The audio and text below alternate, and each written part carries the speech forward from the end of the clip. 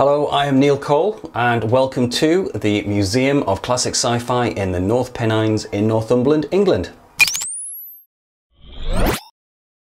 The museum is the fulfilment of a lifelong dream since childhood after visiting the Blackpool Museum uh, Doctor Who exhibition in 1975 when I was five.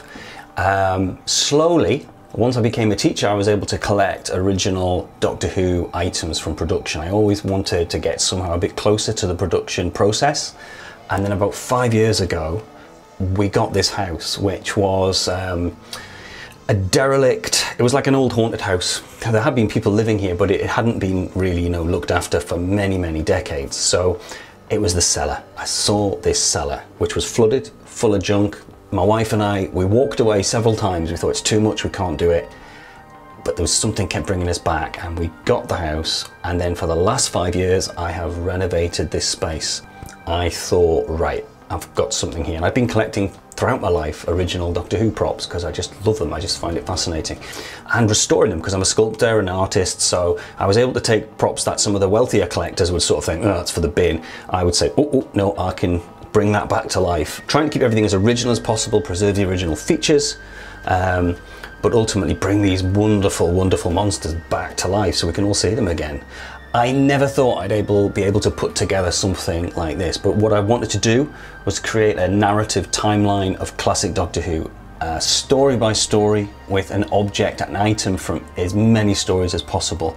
So I'd never seen it done before. Various exhibitions I'd been to, everything seemed often quite hodgepodge put together. I wanted to make a sort of permanent, real, serious exhibition based on uh, Doctor Who. And as it developed it also my passion for the general genre of sci-fi.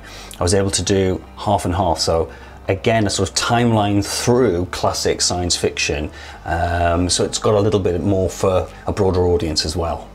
Probably the best thing about um, owning and creating this um, I guess it's been a creative process which is deeply satisfying. There's something inside which loves putting all these old pieces in order.